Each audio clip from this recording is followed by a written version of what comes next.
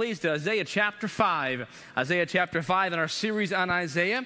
We're not very far in yet, We're only five chapters or four chapters, five, Lord willing, by the end of tonight.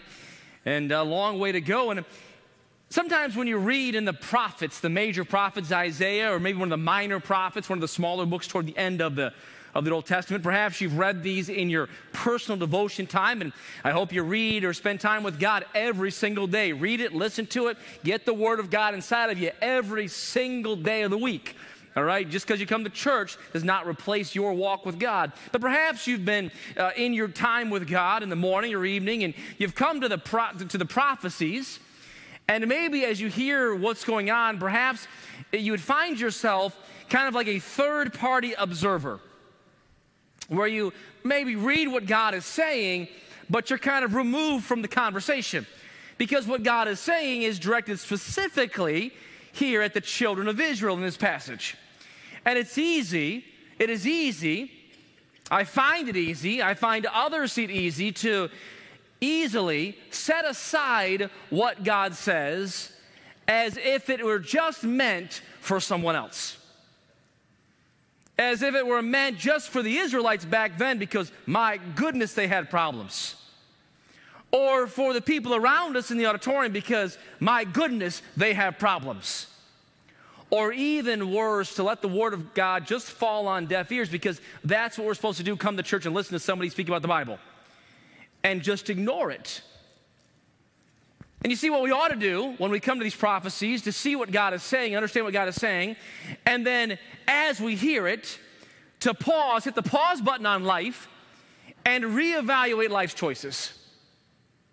There are sometimes that phrase is used in a humorous sense. Somebody can wear something like, boy, are you sure you're comfortable wearing that? You ought to reevaluate your life choices. But it is no laughing matter when we come to the Word of God and are confronted with the Word of God. We ought to, every time the Word of God is presented in our life, whether we're reading it, listening to it daily or in church, in a corporate setting, we ought to pause and reevaluate life's choices. Amen? It's not just meant to fill our head because, as we learned this morning, head knowledge is dead knowledge. We're supposed to touch our heart. But why is it? Why is it so easy to pass over God's decrees and criticisms and judgments? Anybody else find it easy to do? And justify our own behavior? Why is it that? Why is that so easy? In contrast, if someone, if some person criticizes or insults you, you can remember that till, till, your, till your dying day. Why is it that, that I can remember in high school when Sean, who sat next to me, ridiculed the pair of pants I was wearing? I still remember to this day. Why can I still remember that? Yet I can quickly set aside the truth from the Word of God that wants to influence me in such a better way. Sean was looking for a laugh, God is looking for a life change. Yet, why is it we can easily set aside the truth from the Word of God? Are you with me so far? You hear what I'm saying? We can set that aside, but if someone passes you in the hallway and doesn't look at you, you hold on to that. Why can we so quickly analyze that and set aside the truth from the Word of God? You can remember from high school grievances and offenses. You can remember from your spouse criticisms and things they said in, in jest or in hurt.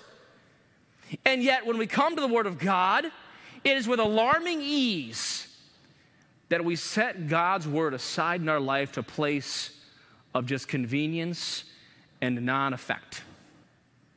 And we do that to our own shame. In comparison, we ought to, to clearly grasp what God says much more deeply, much more intimately than something anyone else says.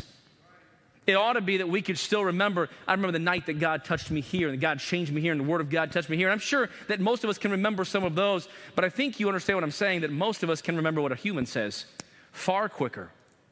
And it's far more emotional than what God says. And tonight, as we approach Isaiah chapter 5, God is going to speak in, in some simple ways. He kind of turned this message, uh, according to the, the Word of God, different than I had intended. But in Isaiah chapter 5, God sets down some pretty stout, has a pretty stout conversation with, with Israel. It's a pretty heavy conversation. If this was a human interaction, this would be a lecture from a parent to a child. And it would be one of those conversations, uh, Brother Treadway, I'm sure you've had these, uh, where, where it's not a conversation. You're not looking for a two way communication. You're looking to impart some truth and for the child to receive the truth. I'm not looking for their opinion. Now, other times we have conversations, right? Other times you're like, hey, let's dialogue. But there are sometimes parents, dads, moms, you know what I'm talking about, teachers, principal, principal. There are sometimes when, listen, this is not a conversation, all right? I'm gonna give you some truth and you need to take it in. And it needs to touch you. Or some of you parents like, if it doesn't touch you, then someone else will touch you. And here, God has one of those conversations with his children. Beginning of the chapter, we find that, that uh, um, God is, is speaking to the well beloved. All right, it is those who are deeply loved by the Father. And everyone who is saved is deeply loved by the Father. Now we know that the whole world is loved. John 3:16 tells us that. But those who became the sons of God, the children of God, have a special relationship with the Father. And here the verbiage in, in verse number one and verse number two, talking about the vineyard and the choicest vine and, and God's vine. There's some, uh, some, some analogy there, some picture language for us. The God is saying, This is a beautiful thing that I've done. I've chosen you, and, and, and, I, and I loved you, and I've treated you well. I've caused you to prosper. I've blessed you. And you've not responded the right way. And it would be easy to set that aside. To look at the children of Israel and say, oh my, my, oh my. Can you believe the children of Israel would do that to God? Can you believe that they would accept his blessings and accept his love and accept his prosperity and then push him aside? Can you believe they would do that? I'm glad I would never do that. I'm glad I would never take the blessings of God and, and take them for granted. Prayer, salvation, grace, forgiveness, mercy. All right, the, the, things that we're touched with every single day. I'm glad I would never, and you would never set that aside. Boy, the children of Israel, they're some bad people. Yet that language gives to us not just children of Israel, but to you and I, because the Bible is often given in layers, specifically to those who hear it then, but across the portals of time and the, and the halls of time, it's for you and for me to hear and to heed. I want you to look one, one verse in particular as kind of the, the turning point in this passage. is found midway throughout the chapter in verse number 24. Therefore, as the fire devoureth the stubble, and the flame consumeth the chaff, so their roots shall be as rottenness, and their blossoms shall go up as dust, because they have cast away the law of the Lord of hosts and despise the word of the Holy One of Israel. I have two different titles for this message tonight. One is, Are you just a dust plant? Are you just a dust plant? See, dust in the house is never pleasant. You ladies will have someone come over and you look around your house like, oh my goodness, there's dust everywhere. And so you quickly grab a duster or a rag or a child and say, listen, dust the living room, dust the table, get rid of the dust because dust is not attractive in, in our minds. Uh, no one says, boy, you know what, this is a great day. My house is full of dust. No one says, man, it was great breathing outside. Why? The dust was so heavy in the air. I just brought it in. Oh, it was so good. No, we're like, man, I can't breathe. It's obnoxious. It's tedious to clean up. All right, it's worrisome and bothersome. And it's not a sign of prosperity, but of dearth, of deadness. All right, dust does not come all right, as something blossoms. It comes from something that is decaying. You don't say, wow, look at my new dust plant. Aren't these dust flowers beautiful? I mean, just look, blow on it, and dust just billows out. Would you like one for your birthday too? No, of course not. Yet here the Bible says that because they cast away the word of the Lord and the holy word of, of Israel, the holy word of God, that their blossoms, their prosperity, their life success became as dust. Or all they did merely manufactured decay. They were a dust plant. So tonight, the first title for the message is Are You Nothing But a Dust Plant? How shameful it would be if God has touched us so much and loved on us and been so gracious, and in response and in return, we merely manufacture dust. So let's ask the Lord's blessing, and then we'll jump inside what they were doing and ask God's help. Lord, we love you. Thank you for this time. And Lord, I pray that you'd help us. Lord, I pray you'd guide uh, this sermon, that it would be true to your word, to you. And Lord, you challenge our hearts, our spirit, that your, your spirit would communicate with our spirit. And if there's an area or areas that are displeasing to you, Lord, that we would respond in humility and repentance.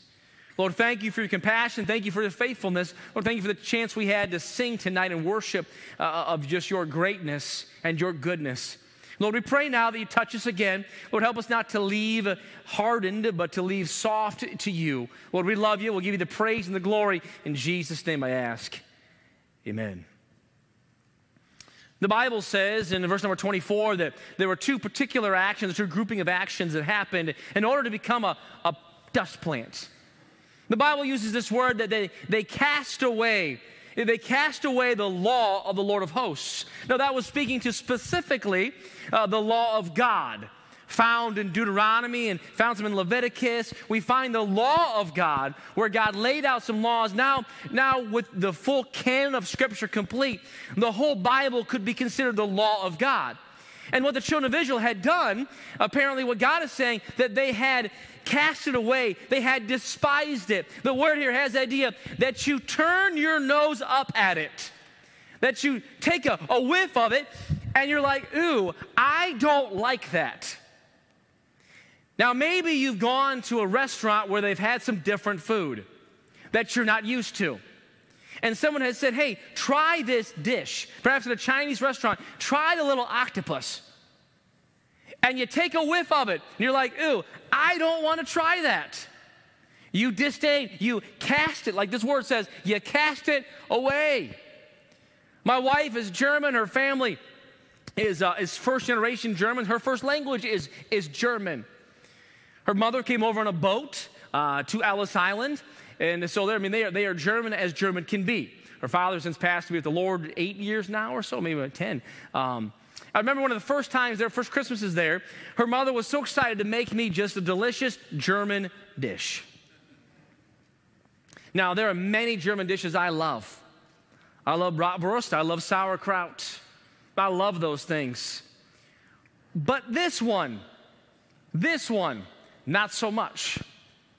It consists of three common ingredients steak, hamburger, I'm sorry, steak, um, eggs, and onion. Which, on a, one level, would not be a bad idea.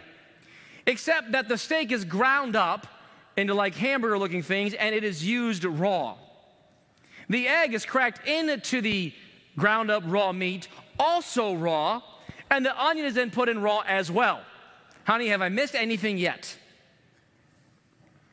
And here I am now. I grew up in a family, thanks a lot, Dad, uh, where my parents taught me to try everything, which is not a bad lesson in life. We've actually taught our kids the same thing.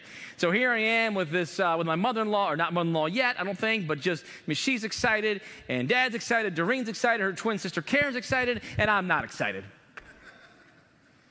Trying to deal with this particular dish. And, um, and I'm like, oh my goodness. The, the German name is, is Hackfleisch, is the name of the dish, Huck, Hackfleisch. I'm looking at this dish, and uh, uh, her mother's like, oh, JD, you should try this. And I'm like, oh, I had this last week. and uh, you, this is like, like a little, just like uh, look into JD's heart and life. That if I'm really, really nervous, laughter and jokes really come out. All right, it's my way to deal with that kind of stress. I'm looking at this dish like, this is a recipe to die. Raw steak, raw eggs, Raw on you. I'm dying. She's like, I've had, I've had this last week. She's like, Oh, you have had it last week? I said, Yeah. I put it in a pan and fried and called it a hamburger. Go with you. And there I was, looking at that dish, and there was no way that I could feasibly turn up my nose at this dish and not offend, you know, Doreen or her family and her sister. So I, with all the grace that God gives in life, took a small spoonful and ate it uh, and, and decided that I am not German. I'm Puerto Rican. And we cook food. We put in pan, fry and called hamburger, we told you this hackfleisch. What the children of Israel had done is they had looked at what God had offered through his law and turned up their nose. I don't like that. I don't think that's appealing to me in my life. I don't think I want to ingest that. I'm going to despise it, turn up my nose, or like the Bible says in verse 24, cast away the law of God. My friend, understand that any time that we turn up our nose at the law of God, that we are in a dangerous place in life. That we are in danger of becoming a dust plant. When we look at the law of God, what God says, and say, I don't think I'll ingest that today. I don't think I'll apply that to my life. I don't think I'll take that in. I see what you're serving. Lord, I, I see what you're saying, but, but I don't want to have it right here. Not only did they cast away, the Bible says, but it uses this word, they despised the word of the Holy One of Israel.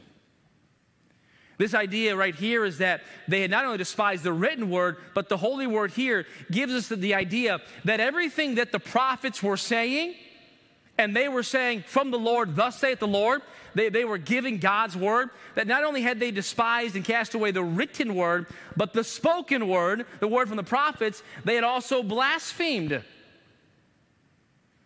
Now, we know as we read the accounts of the prophets through Isaiah and Jeremiah and Malachi, these different prophets, and find out in Hebrews chapter 11 how they treated the prophets, that they blasphemed the word of the prophets. Jeremiah had written down the word and, and they destroyed, they destroyed what Jeremiah had put down. And so not only had they turned their nose up at, at the written word of God, when the prophets spoke, they also said, you know what? That's ridiculous. Or, Mr. Prophet, shut your mouth. We don't want to hear it. We don't want to hear it. We're content with our own way and our own things. You see, my friends, we become a dust plant when we don't allow God's word to touch us. But where I want to sit tonight is not in what happens, but how they got there. And if you look back, beginning in verse number 8, because in verses 8, 8 through verse number 23, we find six sins, six woe, woe unto them, six woes, six sins that you and I can still be guilty of today. Six sins all right, that will turn your life into a manufacturer of dust, that will turn your actions into worthless, decaying rottenness. And as we look at these sins briefly tonight, I want you to ask yourself and ask the Lord, Lord, is this true in my life? Because where we began the night was this thought it is so easy to take God's word and set it aside and take his criticism and put it aside. But man's word, they, their insults, their complaints, we internalize very quickly. And tonight, let's internalize God's word. Let's look first of all, the first thing that God says that the children of Israel did, but you and I can still be guilty of, beginning in verse number eight, where the Bible says this Woe unto them that join house to house, that lay field to field, till there be no place, that they may be placed alone in the midst of the earth. In mine ears, saith the Lord of hosts, of a truth many houses shall be desolate, even great and fair, without inhabitant. Yea, ten acres of vineyard shall yield one bath, and the seed of an homer shall yield an ephah. And what the Bible is saying here, to kind of explain the, the verbiage here, is that the children of Israel were guilty of one particular sin in this passage, and it's the sin of covetousness. The words there with the house to house till there's no room shows the idea that they're trying to accumulate as much as they possibly can until there's no more space to get anything else. In a modern vernacular, it'd be saying that my house is crammed from floor to ceiling with stuff. And I'm still not content. And the sin of covetousness had crept into the house of Israel. To covet is to crave, to lust after anything that you don't have. It's not just a house, it's not just a land. It is anything that we don't have. If we begin to crave it, then we are covetous. It is the opposite of contentment. And the Bible says, but godliness with contentment is great gain. Are you satisfied or are you a covet? Now, we don't like to answer the question that way. We don't necessarily want to say we're satisfied, but we definitely don't want to say that we covet because coveting is a bad thing. Yet the Bible says you're either content or you're not. There's no middle ground. I read a story about a, preacher in this particular thought of covetousness and, and had some similar ideas about it. In his story, he talked about how he learned about covetousness in high school when he took a bologna sandwich to school every day. And that was the lunch of our choice growing up, and uh, we had bologna sandwiches most days. And he talked about how he sat next to Randy at school, this preacher. And Randy, Randy didn't bring a bologna sandwich. Randy got the hot lunch every single day. And this man said, he goes, I sat there eating my bologna sandwich on white bread while Randy smacked down his hot lunch every single day. He went on to say this. He said, You know, I learned in the Ten Commandments about coveting. Well, you shouldn't cover a house, you shouldn't covet a house or a land or a, a neighbor's wife or an ox or a donkey or a servant. And he said, You know what? I had no problem with another person's house and no problem with the wife. I was, I was in high school, grade school. I had no problem with an ox or a donkey. I was fine. But I wasn't fine with my lunch. And I wonder, my friend, fellow Christian, how we can easily set aside the ox and donkey. Because to be quite, quite frank, I don't want an ox or donkey at my house. My wife may. I don't have a problem coveting an ox or donkey. I don't want your property. I don't want your house. Don't want your wife. But if we're going to be honest tonight, we ought to ask ourselves God, is an area in my life where I do covet? Maybe you want a different job. And you're like, why did they get that job and that position? I deserve it. Covetous. Maybe it's some particular talent. Why do they have that talent? Or worse yet, for your kids. Why is that kid able to do that and my kid can't? You see, it's not the ox or the donkey that gets us, it's the bologna sandwich. It's what we have and wishing for what we don't have. That is covetousness. And Paul said this He said, I've learned how to abound, have a bunch, and I've learned how to have nothing. But I've learned this one thing that in whatsoever state I am, that I will be content. And contentment is not merely acceptance. Oh, this is my lot in life. This is what I'm stuck with. No, contentment says, God, thank you. I embrace what you gave me. This job you gave me that has longer hours than that job, thank you. Thank you. And why is it that the devil can turn anything into something we want to covet? It can be a simple blessing that someone else receives, and then in our minds we begin to think, well, why didn't I get that blessing? Covetousness. And it may not be the ox, and it may not be the donkey, but it might just be the bologna sandwich. And the minute we begin to covet, my friends, we begin to manufacture dust. Because as we covet, we start to accumulate all things that are worthless, all things that will decay and have no value. And God says, Listen, it is time to set aside covetousness and to repent and come back to me. Well, he could stop right there when we could have the song play, I surrender all, and many of us ought to be at the altar. But there's six things in this passage. That's just number one. Let's move on to number two, beginning of verse number 11. The Bible says this Woe unto them that rise up early in the morning, that they may follow strong drink and continue until night, till wine inflame them, and the harp and the viol and the tabret and the pipe and wine are in their feasts. But they regard not the work of the Lord, neither consider the operation of his hands. Therefore, my people are gone into captivity because they have no knowledge, and their honorable men are famished, and their multitude dried up with thirst. Therefore, hell hath enlarged herself and opened her mouth without measure, and their glory, and their multitude, and their pomp, and he that rejoiceth shall descend into it. And the mean man shall be brought down, and the mighty man shall be humbled, and the eyes of the lofty shall be humbled. But the Lord of hosts shall be exalted in judgment, and God that is holy shall be sanctified in righteousness. Then shall the lambs feed after their manner, and the waste places of the fat one shall strangers eat. The next sin children of Israel were guilty of is using alcohol, drinking. In fact, some of those verses are found in Proverbs, the same ideas in Proverbs. The results are found in Genesis. We find the New Testament, uh, which was written after this, but drinking. Now, some of you will say, well, Pastor, he says that, that you're, you're full of it, that there's a drunkenness aspect. He says that, but he also says you find wine at your feast, wine at the feast in, in, in verse number uh, 12. Why is it a big deal?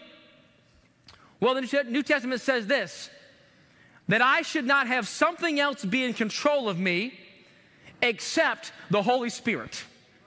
That nothing else in my life should have any any touch of control in my life except God and his power.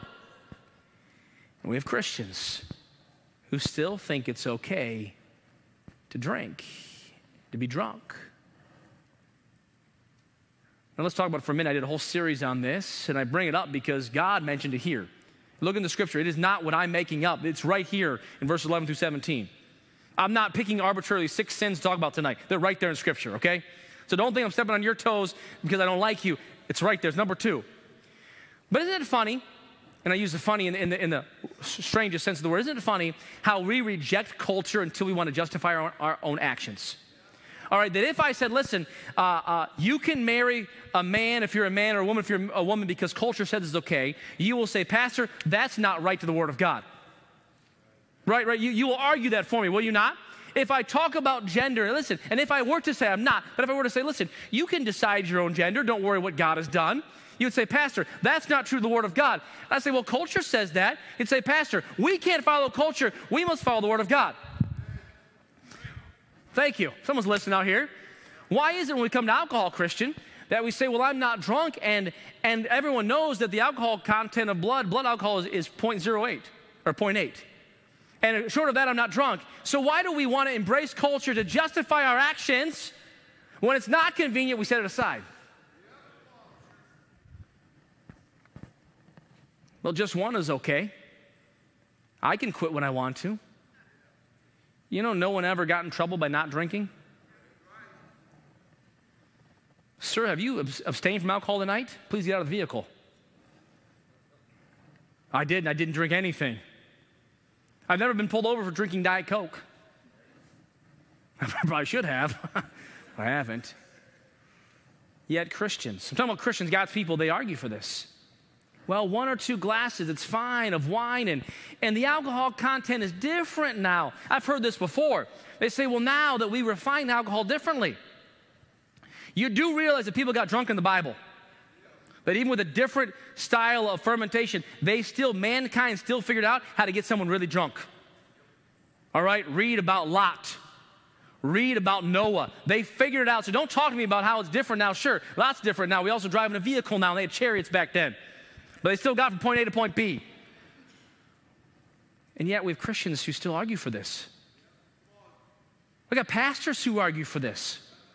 It's a Christian right. I can promise you this you'll never get drunk if you don't drink. I can promise you that. You will not get drunk if you don't drink. And yet, all of a sudden, we want to become our own judge in this. Well, I still feel fine after one glass. Though, if you want to go back to culture, and when I did the alcohol series, that what the American Cancer Society says that the optimal amount of alcohol consumption every day is 0%. So let me borrow from culture where they say it's zero. And they say even one glass of wine can impair vision and impair judgment. And God says, don't let anything control you except my spirit. You know, you want your life to be turned to dust? You want to manufacture dust, be a dust plant? Then just covet things. And number two, just let something other than God control you. And you let something other than God control you, and what you do will be worthless. Number three, 18 and 19. Woe unto them that draw iniquity with cords of vanity and sin, as it were, with a cart rope, that say, Let him make speed and hasten his work, that we may see it, and let the counsel of the Holy One of Israel draw nigh and come, that we may know it. Number three, be careful when you begin to defy God. What a dangerous place. I hope no one is guilty of this in this, in this place tonight in a verbal sense. I would shudder to think if you look to the Holy One of Israel, the Holy One of God, to, to God and say, God, prove it. Show me. Now, there have been people that have said this to their own shame, reproach, and to their own judgment. And here, the children of Israel were living in a way that said, fine, God said it, it doesn't really matter. It won't happen. Understand, God has said over and over again, judgment's coming, judgment's coming. And they lived their life in a way that said, whatever. And while we may not say, God, I defy you, maybe you're living in a way that says, God, I defy you. And living is just as bad as saying. It's not bad yet, so God, where are you? I guess working out okay. I'm living life my own way. And you know what? I'm doing all right. I got enough money in the bank, and my kids are nice to me, and, and people think they're respectful. I'm, I'm doing okay, God, and I didn't do your path. Careful. Careful. At that moment, you're nothing but a dust plant. You're manufacturing decay and rottenness. Look at verse 20, please. Woe unto them that call evil good and good evil. That put darkness for light and light for darkness, that put bitter for sweet and sweet for bitter. What a sad verse. That someone would get up and say, something that is evil is good, and something that is good, evil. Yet we live in a culture that calls evil good and good evil. Do we not? They look to the Word of God and say, if you say what the Bible says, that's considered hate speech. What is good is considered evil. And what is evil, what is wicked, is now considered to be good and normal. Uh, we, we live, and what, here's what's happening. What, what has happened is that they have perverted morality. All right, morality, right and wrong, they've perverted, they've twisted it and they've taken what is, what is proper and right and they've turned it around. And what is good, they call evil, evil good. But this verse isn't written to culture, it's written to God's people. And God's not at this point speaking to culture. He does that throughout the Bible, but here he's speaking to God's people. And here he's saying, You, my people, my vineyard, my vine, the recipients of my blessings, you have called good evil and evil good. We got churches, we got pastors, we got ministries who call good evil and evil good. Do we not? This is the way we ought to worship, but it's not. It's not good. It's not good. We've got well known evangelists who don't preach the word, preach prosperity. They call evil good and good evil. We've got ministries and they and they call what God calls an abomination and a lifestyle that is wrong and homosexuality, and they say, you know what, that's all right. You can still be a pastor. And churches are doing this, calling good evil and evil good. Be careful when you call good evil and evil good, because at that moment, you become a dust plant. It's not just in, in the churches and the pulpits, it happens in the pew. As you begin to justify your own lifestyle choices, you say, I can live in this lust, I can live in this adultery, this fornication, and it's good because I like it. Be careful when you call good evil, evil good. Not only is it covetousness and other control, defying God and perverting morality, look at verse 21 one of the most damaging accusations. Woe unto them that are wise in their own eyes and prudent in their own sight. You want to become a manufacturer of dust in your life? Just begin to think that what you're doing is fine. Just begin to be your own judge and jury. Just begin to evaluate your own choices by yourself. Make your opinion the highest opinion. Well, I don't see anything wrong with it. Whoa. I don't feel bad about it. Whoa. What's wrong with? Be careful when you and I become our own judge rather than going back to God. God, what do you want? God, what's right with this? Lord, how do I honor you at the temple? That you've, that you've saved me. I, am your temple. Lord, I want to please you. I don't want to be wise in my own eyes. I don't want to think all my things are prudent. I want you to weigh in. This one ought to walk all over us and stomp all over our life. Here's a question How long can you live? How long can you live without Christ sustaining you? How long?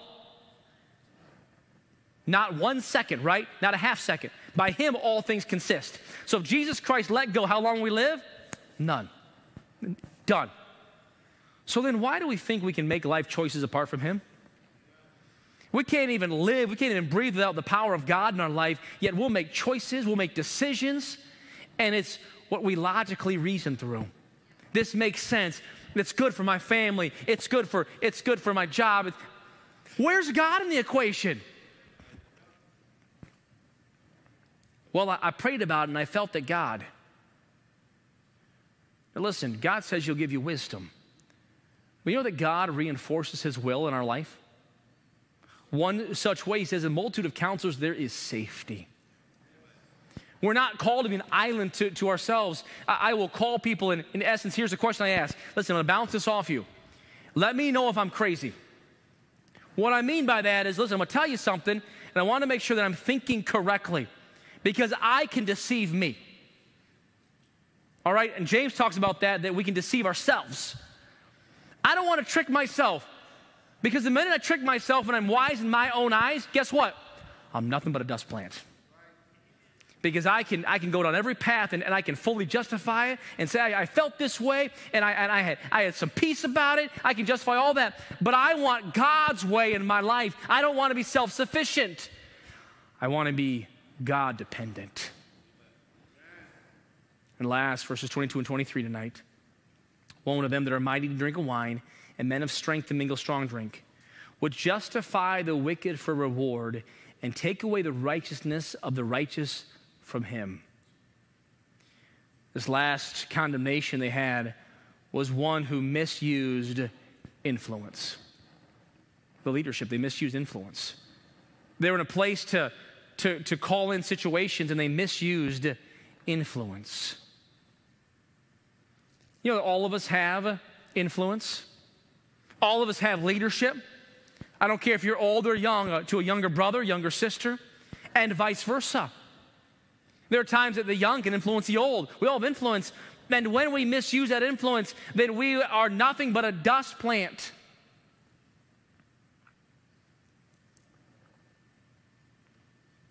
At the foot of Acropolis at Athens, there are still a few Corinthian pillars. And these are all that remain of the once famous temple to Zeus. During Paul's day, they would have seen the temple to Zeus, and everyone in Corinth knew, and outside of Corinth, knew about the temple to Zeus. It was beautiful, it was majestic. And now it's reduced to a pile of dust. They built this beautiful thing, but in reality, all they were doing is manufacturing dust. Only God Himself, I'm sorry, God Himself could not sink this ship. Said about the RMS Titanic. And God Himself didn't have to sink the ship, He just used a little pile of ice. And now, in the bottom of the ocean, there's a ship known as the Titanic, and it's reduced and decaying toward dust. And what they built was a beautiful, yet worthless pile of dust. It's in Sicily.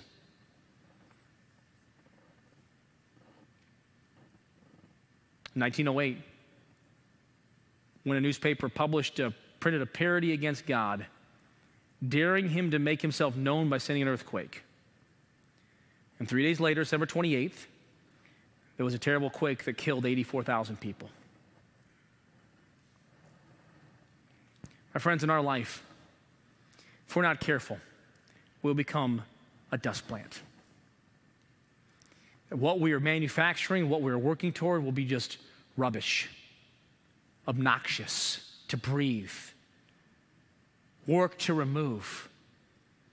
Yet, as we close, I want to remind you of one amazing truth from the Word of God. Because God says this. Do you, do you remember back in verse 24 what happened? Why they were dust plant? You remember it had to do with the Word of God? How they cast away, they, they turned their nose up? Remember this perhaps unfamiliar passage. Blessed is the man that walketh not in the counsel of the ungodly, nor standeth in the way of sinners, nor sitteth in the seat of the scornful, but his delight, his delight, his satisfaction, his joy is in the law of the Lord, and in his law doth he meditate day and night. My friends, it is like that this individual is at the buffet of God's word. And when you're at the buffet of God's word, they will not turn you away. You'll never be turned away. And you cannot eat enough of your fill at the buffet of God's word. His delight is in the law of the Lord, and in his law doth he meditate day and night. And he shall be like a tree planted by the rivers of water that bringeth forth its fruit in the season. His leaf also shall not wither, and whatsoever he doeth shall prosper. You see, there were those who turned away through covetousness, through self sufficiency, through lack of control, through misused influence, and their life ended up with dust. Yet God says, if you cling to me, your life will prosper. And not just occasionally. The Bible in Psalm 1 says, and whatsoever he doeth shall prosper. So tonight, maybe you're a dust plant. Maybe as God spoke, he, you had to turn the light into your life and say, you know what, I've been manufacturing dust. Then turn back to God. Cling to his word, Psalm chapter 1, and let God prosper your life. That's the place we ought to be.